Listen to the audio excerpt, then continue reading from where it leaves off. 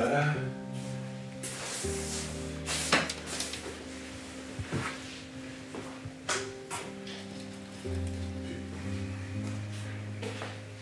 Alors, est-ce que je les mets ici dedans Non, il n'y est pas. Il n'y est pas, il n'y est pas, il n'y est pas, il n'y est pas. Et merde. Voilà. Mon ami Alzheimer.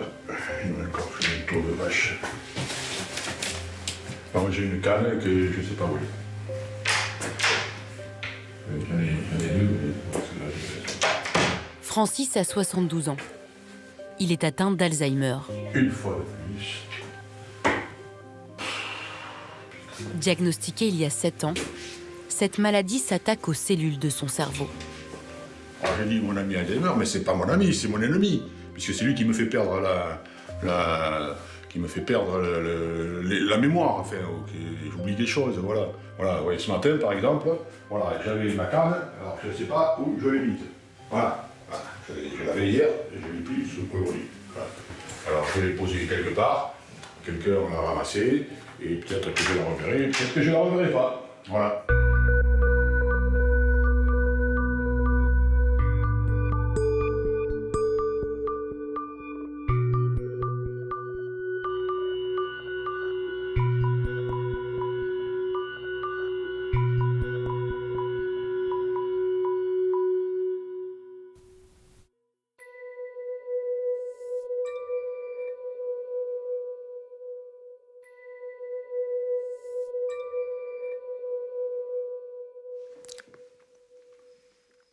J'ai pas de mémoire.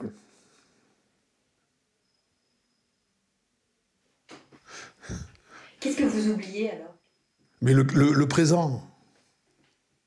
Le présent. Le- ce dia de ce matin, d'hier. Ce que je fais, comme il disait l'autre, je suis en pleine conscience. Après, je peux oublier que je l'ai fait. Mais je m'en suis rendu compte quand même, au bout d'un moment. Je dis, putain, mais tu fais deux fois la même chose, là, c'est pas, ça va pas.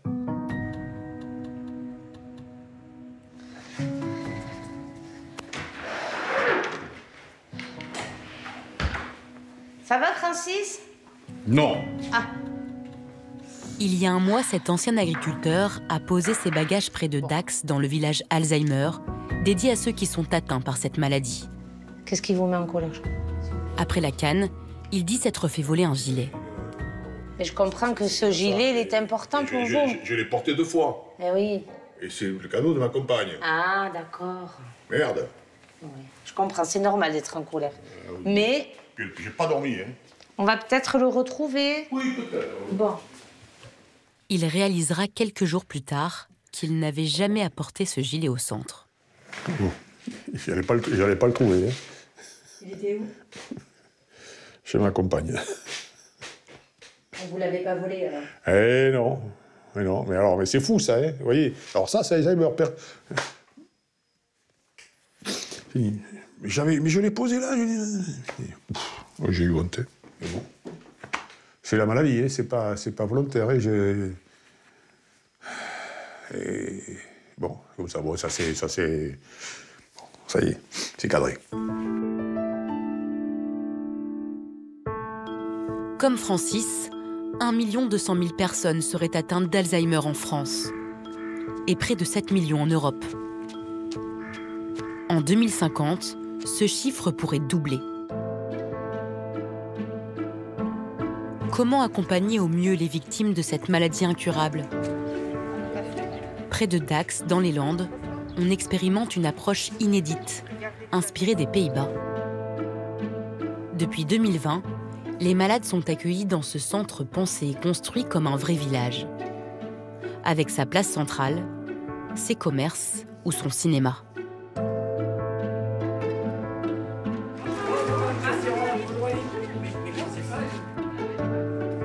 Un air de vie normale et de liberté dans un lieu discrètement sécurisé.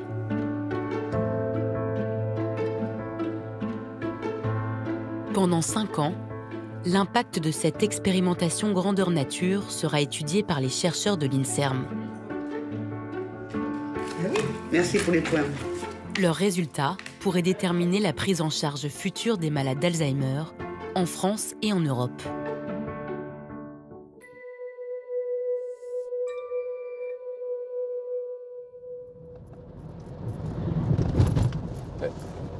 Je commence à voir d'ici. Village landais Alzheimer. C'est quand même grand, hein Valentin était infirmier en région parisienne. À 28 ans, il s'apprête à découvrir une toute autre façon de soigner cette maladie. Allez, c'est parti Il vient d'être embauché au village, c'est son premier jour.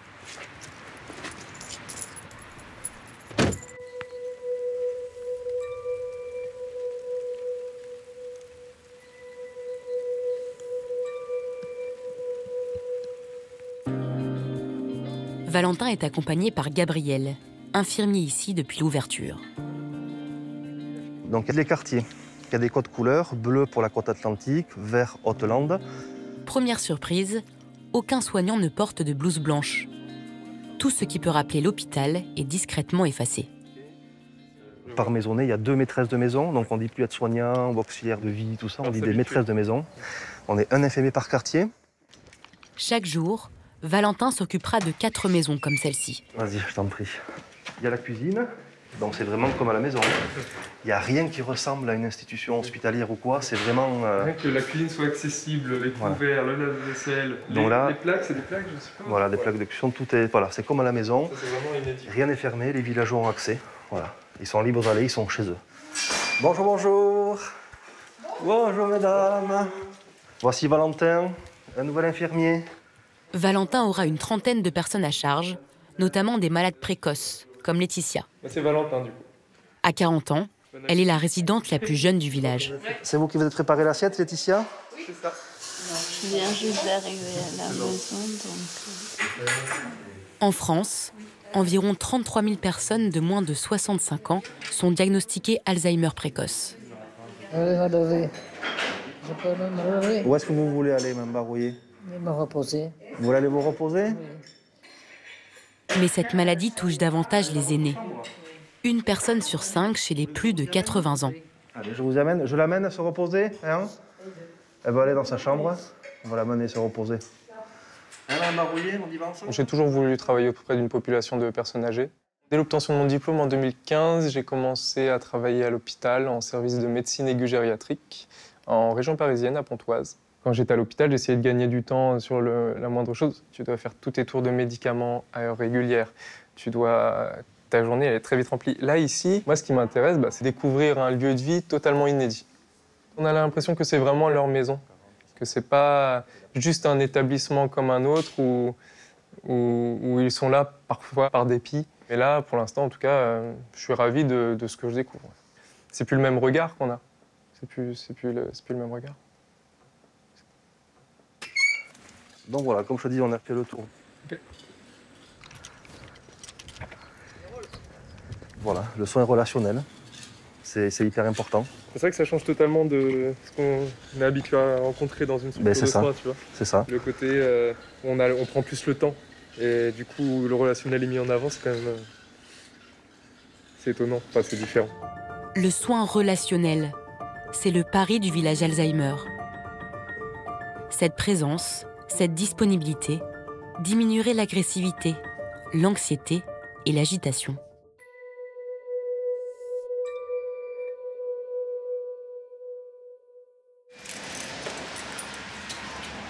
Salut. Patricia est aide-soignante.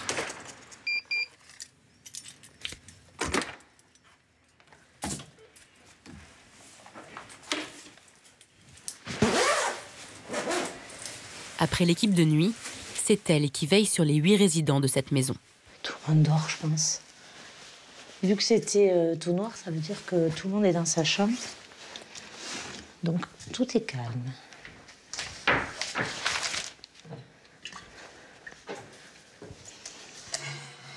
Les déménagements de la nuit. Qu'est-ce que ça veut dire? Ça veut dire que les personnes qui sont réveillées, on a notamment un monsieur qui déambule la nuit et qui traficote un peu pour s'occuper, pour s'apaiser, puis après il repart se coucher. Donc on range un peu le matin quand même. Patricia s'occupe des résidents et de l'entretien du logement. Elle est ce qu'on appelle ici une maîtresse de maison.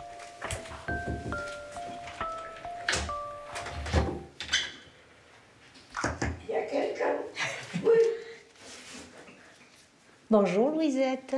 Je peux venir? Mais oui, c'est Patricia, ça va? Ça y est. Voilà. Allez, un peu de jour. Il pleut, hein, il pleut. Oui, allez. Bon. Louisette, Oui. après vous pouvez venir prendre le petit café, Les... le petit déjeuner. Ah, bon. D'accord? Après, après, oui. Là, Je vous attends là-bas.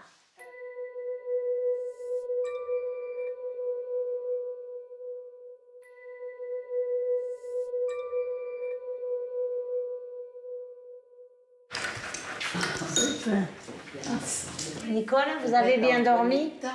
Vous avez bien dormi? Moi? Oh, bah, je dors toujours. Qu'est-ce que vous voulez faire? Ah, mais c'est bien. Oh, c'est incroyable. Hein. Les résidents prennent leur repas à l'heure qu'ils veulent. Patricia discute avec chacun, sans jamais regarder la montre. Une petite révolution pour elle, qui a passé ses 20 dernières années en EHPAD.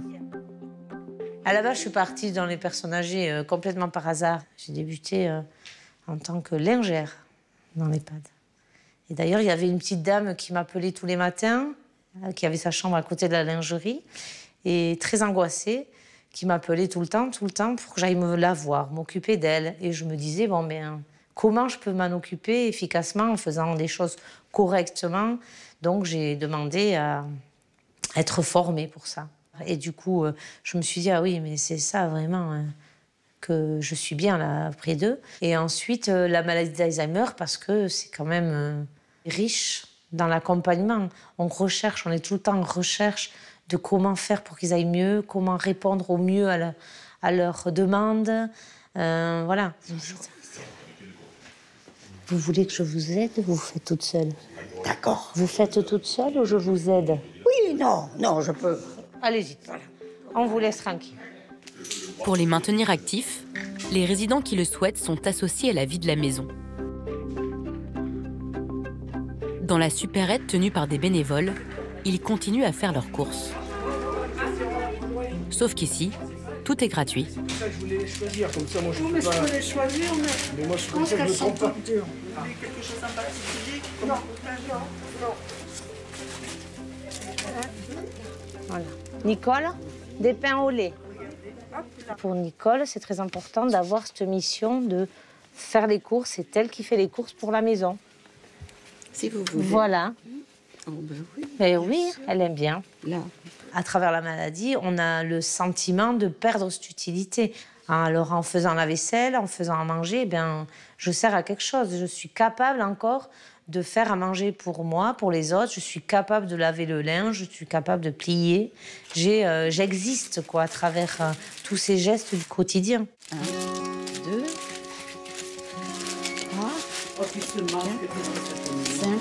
Cinq. Oui, c'est bon. L'INSERM, l'Institut national de la santé et de la recherche médicale, étudie l'impact de ce cadre de vie sur les malades. Voilà. Il est encore trop tôt pour faire le bilan, mais les soignants constatent déjà une amélioration des comportements. Allez, au revoir, messieurs, dames.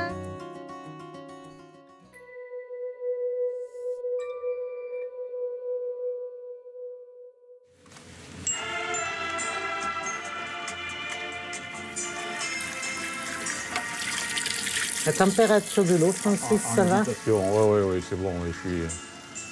Je crains pas. C'est à la ferme, il n'y a pas toujours eu le chauffage. Hein. Ah. Il n'y avait même pas d'électricité. Le salon de coiffure de Nathalie est situé au cœur du village. Francis s'y rend le plus souvent possible. c'est un moment agréable toujours ici.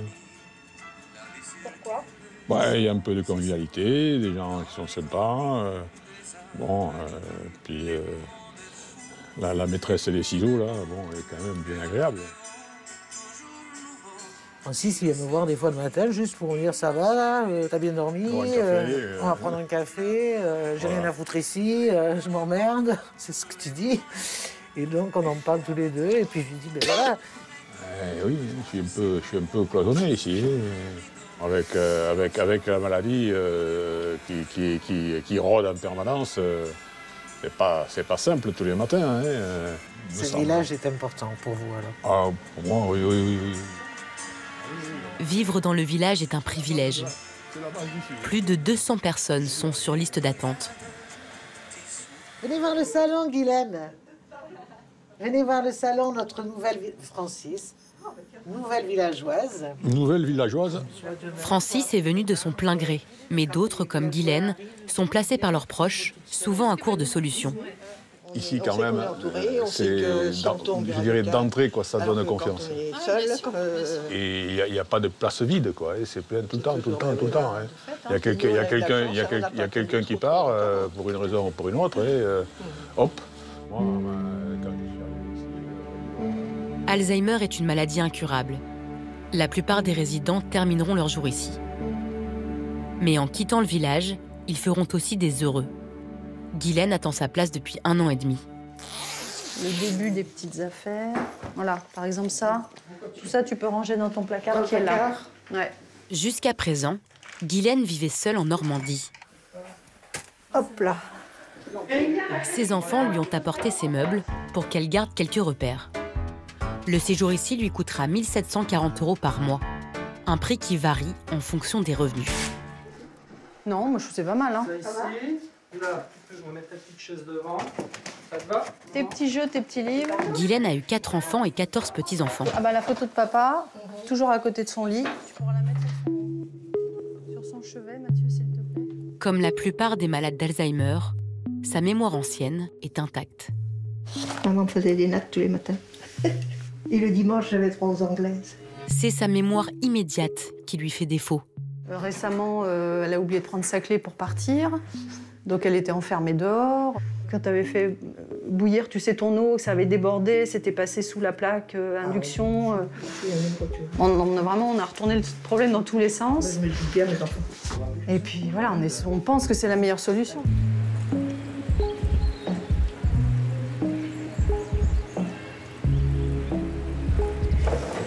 Asseyons-nous. Voilà, pour le même prix, on va s'asseoir. Francis ne perd jamais l'occasion de rencontrer les nouveaux venus au café du village, Alors, ben, moi, je m'appelle Guylaine de la Forge. avec l'espoir qu'ils soient encore capables de tenir une conversation. Et donc, alors, la question, c'est Oui. comment, pourquoi et comment vous êtes venu par ici?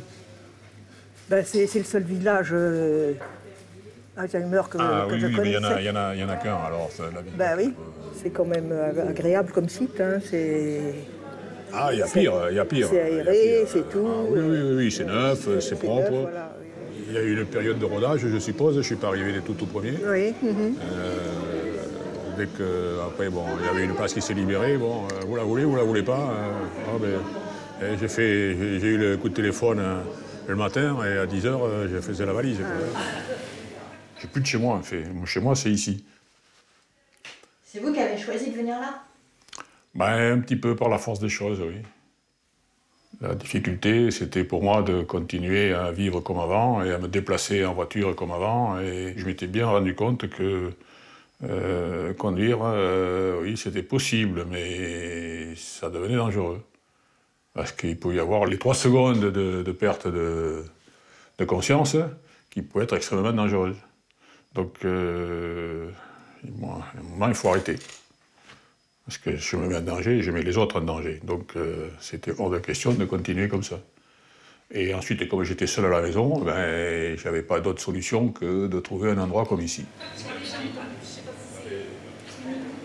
Mon métier à moi, c'était paysan. Ah oui, Ah oui, dans la maïsiculture ah oui. et dans la production d'asperges. Vous avez été marié? Non. Oui, un peu, oui. Un peu, un peu seulement.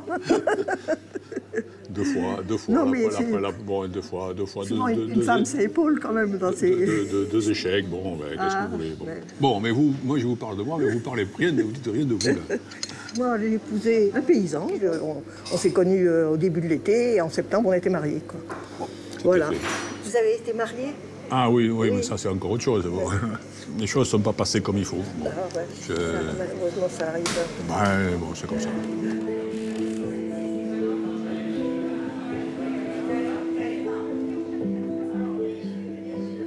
Bon alors? Bon alors quoi? Euh, t'es perdu hein T'es perdu. Mais non, t'es pas perdu. Ah, t'es chez toi. Qui suis perdu. non, non, non, non, non. Vous voyez, là, derrière moi, là, c'est un copain de mon village. Mhm. Il, est- il était, il était très bien il y a, pas, il y a, six mois. Et là, il est complètement euh, à l'ouest. Hein. Il ne sait plus où il est. Alors, il vient, il vient.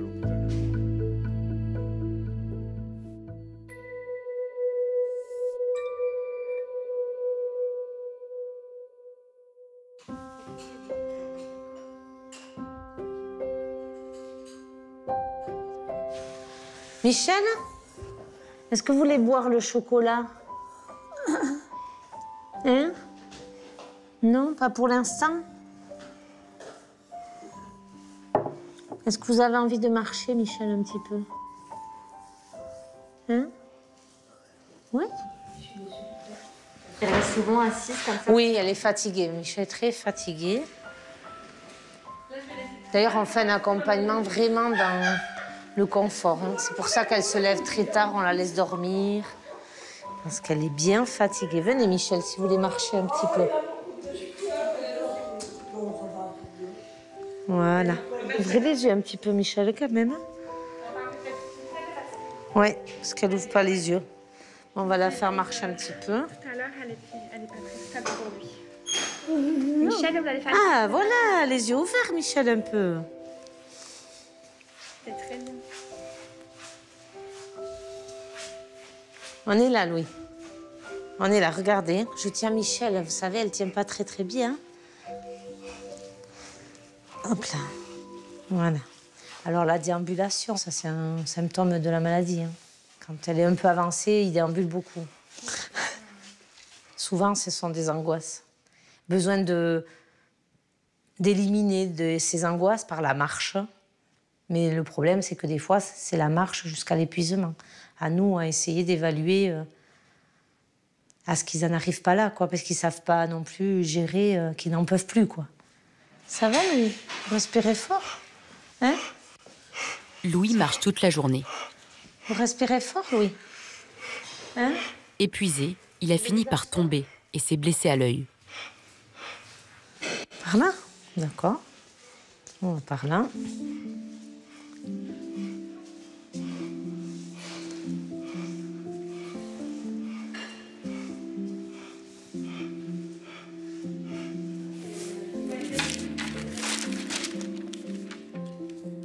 Quand on la voit là, euh, c'est. Dur. Et puis elle n'est pas toute seule avec. avec enfin, elle est vraiment, vraiment diminuée. C'est pas Dieu possible. Quoi. Je vais pas finir comme ça. Et vu la santé physique que j'ai, c'est peut-être ce qui pourra m'arriver. Il n'y a pas de solution. Il n'y a pas de vraie solution. On a beau s'en occuper, il n'y a pas de solution. C'est ça.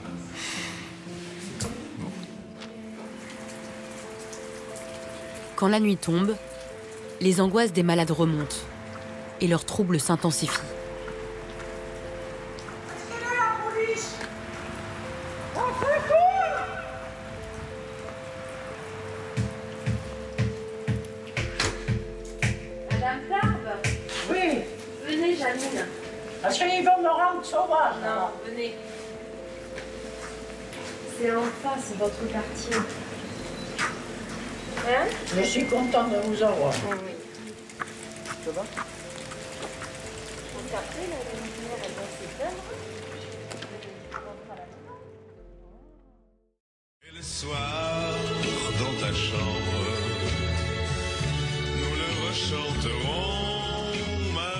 Chaque jour, Francis se bat pour garder ses capacités cognitives. Dès que possible, il participe aux activités proposées au village.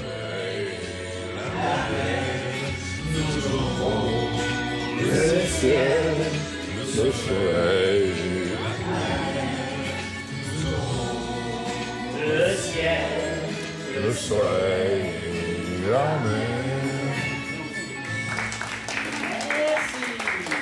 La musique a un effet positif sur les malades d'Alzheimer. Elle stimule leur capacité mémorielle et leur aptitude à communiquer.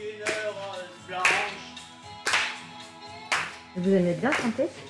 Ah non, je chante, je chante comme une casserole, moi.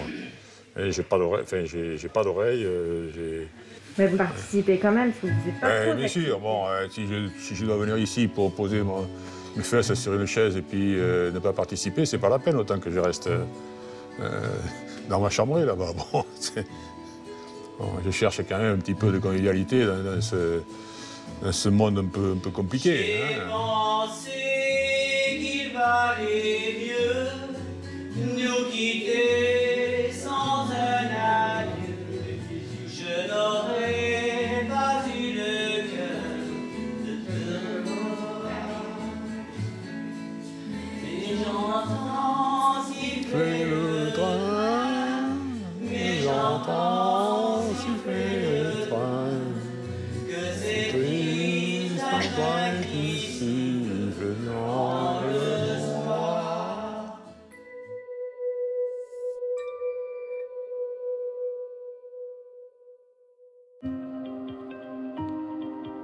matin, Valentin fait sa première tournée seul.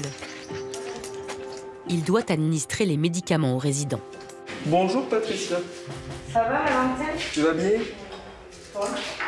Ça va. Et Gounoy Comment on dit chez, comment on dit chez toi? Et Gounone, mais bon, je parle pas du basket, moi. hein. Ouais. Trop, hein, petit peu. Moi j'ai appris quelques mots Je avec. change, regarde, j'arrive pas à enlever la. C'est la fin. Celui-là du- c'est le 9 ou le. Ça, c'est le 9. Ok. C'est la fin du. Tiens, regarde, c'est bon? C'est la fin de la boîte. Oh, Ah, mais voilà, il fallait la force d'un homme. Ouais. Les dégâts causés par Alzheimer sur le cerveau sont irréversibles. Avec des antidépresseurs ou des neuroleptiques, Valentin peut seulement atténuer certains symptômes. Madame Demeure, je suis l'infirmier. Je suis. euh, Attendez, il faut que je réfléchisse bien et pas trop de con. Et puis. Je vous apporte de l'eau, tenez. ah, mais non, mais moi j'ai peur de l'eau. Alors, comment Vous avez Si peur de peur de l'eau ah Alors, oui, oui, oui. c'est- un petit peu d'eau, mais ce sont vos gouttes du matin. Ah bon, bah, C'est je pour la santé. Bon, c'est pour la fantaisie, tout ça. Non, c'est pas la fantaisie, c'est pour la santé. Ah bon, Est-ce que vous, pas. vous voulez bien prendre le fond de- le fond d'eau avec moi? Si vous voulez, je me prends un verre aussi. Qu'est-ce que c'est comme frère d'eau? Non, c'est- ce sont vos, mé- vos médicaments, ce sont les gouttes qui sont dans l'eau. Vous voulez bien les prendre Ils sont dans l'eau, mais s'ils se noient, qu'est-ce que je fais Oh, bon, ils vont pas se noyer, vous inquiétez pas. C'est Mhm. Vu le fond d'eau, euh, ils ont pied, je pense. hein. Ah oui, je me méfie, mais quand même. Tenez, Madame de Mer. C'est pas épais. Oh, quand même, ça va. Ah, vous êtes sûr Bah oui. On traque, santé. C'est bien. À la vôtre. Allez-y. Bah, il y en a trois de morts. On voit Oui, oui, ça se voit bien. Il faut être très, très vigilant quand il y a des trucs comme ça. Hum, C'est sûr. Parce qu'il y en a un qui reste. Hein, euh, Vous voulez pas essayer de le boire avec moi? Je veux bien, mais j'aimerais bien plutôt avoir une euh, voiture. Bon. Là, je crois que ce sera pas pour ce matin. Mhm, merci. De rien La consigne est de ne jamais contredire un malade.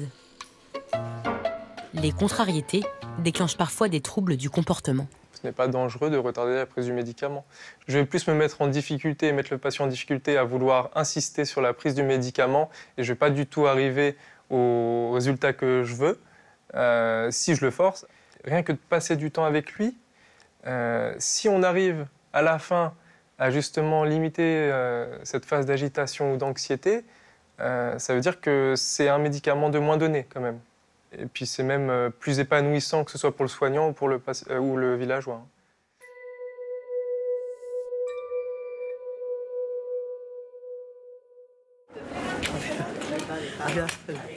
Mais il y a du monde hein, déjà, Colette. Allez-y. Madeleine. Sur les pieds, levez les pieds. Au village, c'est jour de fête. Un bal est organisé à l'occasion du carnaval.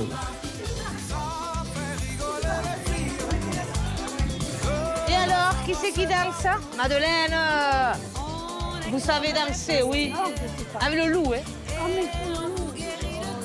Et c'est le carnaval, Madeleine Comme ça, olé Et comment vous appelez Pascal Pascal. Au milieu, Marie-Claire, du rond. Allez, Marie-Claire. Et en dandine, allez, en dandine. Oh, allez, on bouge les fesses. Mais non, c'est la samba. Oh là là. Madeleine est là. Oh. Oh là monsieur là-bas il y a 2-3 jours, il marchait pas. hein. Là, il était en train de danser avec moi. hein. Et alors qu'il a toujours dansé toute sa vie. hein. Il allait dans les boîtes de nuit et tout, il nous a toujours raconté. Et euh, là, du coup, euh, non, non, c'est vraiment. euh, je ne sais pas s'il y a réellement les mots pour voir comment ils sont bien à travers la danse et la musique. Je ne sais pas s'il y en a d'autres. Hein? Mais c'est juste que vous êtes à Dax, au village, vous vous rappelez? Vous savez pourquoi vous êtes là? Ah non, mais parce Que vous avez des problèmes de mémoire. hein? Oui, âge. Non, je pensais que c'était pour que l'âge qu'on pouvait faire. Avec l'âge et parce que vous avez des petits problèmes Oui. de mémoire. Voilà, je D'accord? Voilà. Et bien voilà. Hein? Voilà. Et ça va aller, euh, Lisette. hein? Colette, pardon. Lisette, elle est à côté. Allez, allez, Ah, mais c'est bien, mais j'ai mal à une jambe. Moi aussi, mais moi aussi. Je vais pas faire je peux dire que je m'épanouis complètement là, parce que c'est exactement la définition que je m'étais donnée euh, euh, de mon travail quand je suis rentrée en formation. C'est-à-dire C'est-à-dire euh, accompagner les personnes, mais euh, réellement accompagner à leur rythme, être à leur écoute et euh, essayer de comprendre ce qu'ils peuvent ressentir à certains moments. Et euh, moi aussi, euh, apprendre des choses parce qu'ils m'apprennent beaucoup de choses aussi. hein. Ils ont une, expérience de vie extraordinaire et malgré des oublis, ils se rappellent des choses très intéressantes. On passe de très bons moments. Les résultats de l'étude menée au village landais sont très attendus par la communauté médicale.